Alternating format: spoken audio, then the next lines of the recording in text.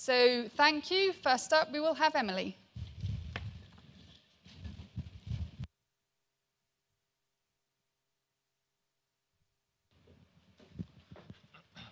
Thank you very much. It's my pleasure to be here for our second in a row gold sponsor um, uh, presentation. So if I can move the next slide.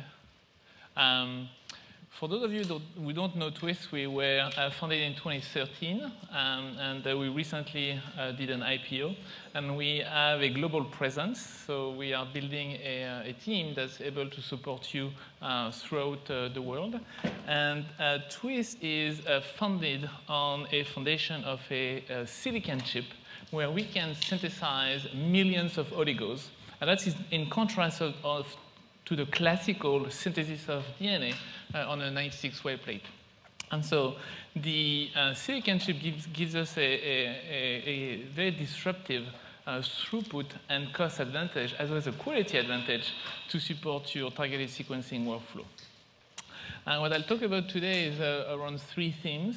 Uh, the first theme is the theme of uh, fast optimization, which means that um, once you have an idea, you can get your first data uh, in a few weeks so that you know if it's you know, the, the right direction for your science. Uh, I'll talk a, lot, uh, quite a, a, little bit of, of uh, sequencing efficiency. And our goal is to uh, enable you to get the data you need with the least amount of sequencing possible uh, so that you can have um, a lowest cost per sample possible. And finally, we want to give you as great flexibility as possible uh, to really enable any workflow that, that you want. So first, uh, sequencing efficiency. This is what we are trying to do. Uh, you can see that there is a target region you want to capture, and the goal is to get to 300, uh, sorry, to 30x coverage uh, with as little uh, sequencing as possible, meaning that we don't want to over-sequence any target because that's just waste of your sequencing dollar. At the same time, we don't want to under-sequence anything, and we definitely don't want to have any off-target. So the, what we have achieved with our solution is uh, uh, uh, balancing the, the coverage such that uh, you don't have under-sequence region, you don't have over-sequence region, which is important for 30x coverage. But now if you think of going to 400x coverage for uh, uh, cancer samples or thousands of X coverage for circulating DNA, it's even more important. Um, and we've built uh, the technology and, uh, and it's working. And uh, uh last year we said that it would work, and now this year uh, hundreds of you have tried it. And so just to give you a quick summary, I have a table with um, uh, almost 10 designs. At the top, it's a very small design with just 139 probes. And at the bottom, it's a bigger design with 135,000 probes and, and, um, and they all work well on the first time. And for us, working well means that uh, if you have 150x of raw sequencing that you uh, filter uh, at, at uh, Q20, um, more than 95% of your bases uh, have 30x uh, coverage. So with as little sequencing as, as possible, you get coverage on all the bases that you want. And that's what you can get on the first try.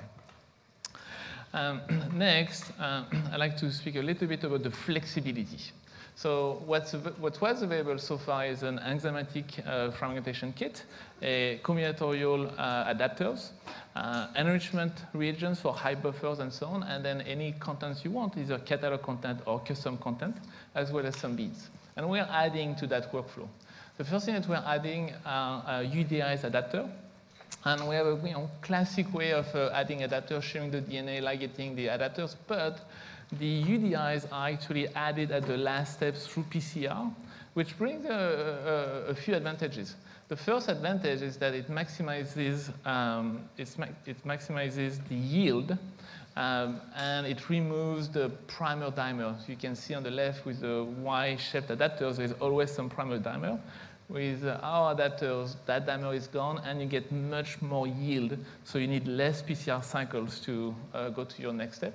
And because the dual uh, adapters are added through PCR, um, it's uh, much easier to have a much no larger number of, of barcodes. Uh, we're starting with 384 barcodes, but we have the foundations to go to thousands of barcodes, as you can think of high throughput. So the idea is, is to uh, yeah, create the foundation for adding more and more samples on, on NovaSeq. And the, the next thing that we're adding is universal barcode. And as you know, in the workflow, uh, the adapter can daisy chain to each other, so you have to block them.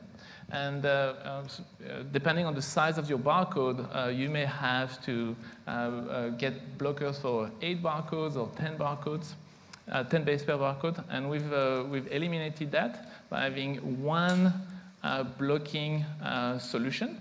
So, and I'm showing here data of um, uh, six base pair barcode on the left, all the way to 14 base pair barcodes on the right. With or without UMI, it's, it's one tube, it works for all your samples. So if you're thinking of putting together on one lane uh, samples that come from different collaborators, different library preps, um, uh, you only need one blockers.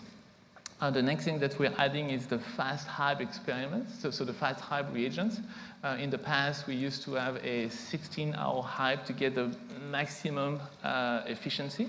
And now we're changing the, the buffers for hybridization, and you can achieve the same results in 15 minutes to, so that you can go from a sample to the sequencer in the same day. So just to show you some data, on the left we have the exome uh, um, uh, data. Uh, in, in gray, uh, you can see that uh, 16 hours high previously uh, is as good as 15 minutes high with the, with the new buffer. if you wait 30 minutes, one hour, it gets even better, but uh, uh, you get the, the, same performance at 15 minutes than you used to get at 16 hours. And so on the left is a big panel, on the right is a very small panel. It works both ways. You get very high on target, very high um, percentage of bases covered. And uh, last, uh, we are adding a mechanical fragmentation. If you guys are, are uh, interested in using the Covaris maybe for FFPE sample, uh, we have that kit as well. So the idea is uh, uh, we used to have a great sequencing efficiency, and now we are adding to the workflow to enable you to get that, that efficiency with the least effort possible. So um, saving you uh, sequencing dollars uh, thanks to efficiency and saving, saving you effort uh, for the work. Last but not least, um, I've shown you our NGS um, uh, portfolio, and you'll hear from our customers uh, how great it works in their hands. But we do other things. Um, we especially uh, do a lot of gene synthesis. So if you know people that uh, are spending their time cloning, you should tell them to go to the Twist website. It's twistbioscience.com slash shop. Uh, and remember, friends don't let friends clone. So if any of your friends are cloning, they should go on the website, in five minutes, you can, get, uh, you can order your gene and you get it shipped to you in two weeks. Your gene in your vector delivered perfect. We do uh, oligo pools uh, for, um, uh, as guide RNA for um, CRISPR experiments. We, uh, we can build protein and antibody libraries, and we also do quite a bit of uh, data storage. So coming to a data center near you soon, any data that's very important, we'll be able to store it in DNA for the very long term. So with that, uh, I'll stop. Uh, thank you very much for your attention, and, and I think you're going to have a very, uh, really great time hearing from our customers and, and the great work that they, they have been doing. Thank you.